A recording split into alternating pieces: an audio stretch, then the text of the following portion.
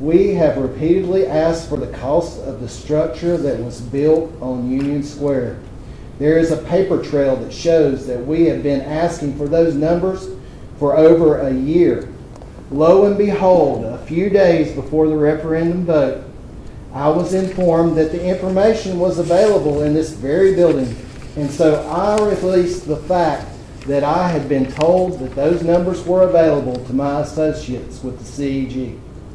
A friend and a fellow member of the CEG. Thank you. May I continue? Thank you. A friend and a fellow member of the CEG went to City Hall and got a Hickory Incorporated well-crafted runaround, in my opinion. Unfortunately, due to my personal diligence, I know what happened that day. And my associates and I are very disappointed in how some, not all, of our public servants represented the public that day. But we should have known better from the start.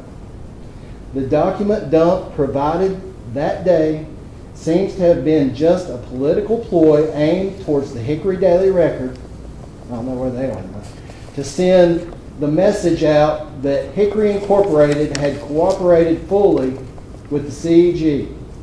So what was all the fuss about? This was a little political gambit meant to sway the public's opinion a few days before an election. Isn't it ironic that you are here tonight to receive an accounting award when the budget, implementation, and accounting involving this project on Union Square would never pass an audit? Rebecca Englefield takes the law more seriously than anyone I know. What happened that day truly does, does bother her. She was writing down questions asking for public information as sanctioned by North Carolina General Statute 132 when she was arrested. Arrested while asking for information that she was entitled to. Arrested for information that has not been provided to us to this day. One of the questions is, what was the cost of the fabric used for the Sails on the Square project? Mr. Mayor, at the last council meeting, you said this information would be provided if it were separately available. Are you telling me that we can't find out the company that, from the company that implemented the construction of this project, the cost per yard of this material, and the square yardage used to build this project? We can do the math. If you are telling me that there was such a lack of oversight on this project, then I am truly embarrassed. You all are entrusted with a fiduciary responsibility to operate fully on the public's behalf, whether most of the public chooses to willfully be ignorant or not. I really could care less about the Chattanooga Way. It seems to me that the Chattanooga Way equals hot water.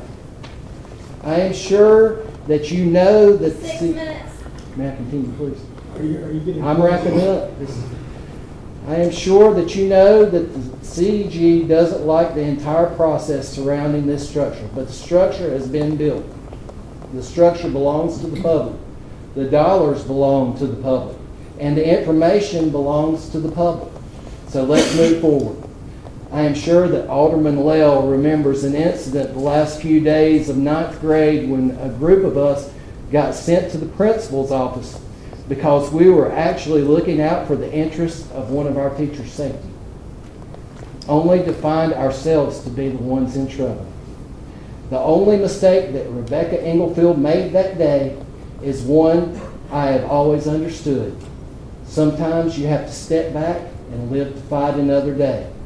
Today is another day, and tomorrow will be another day. Thank you.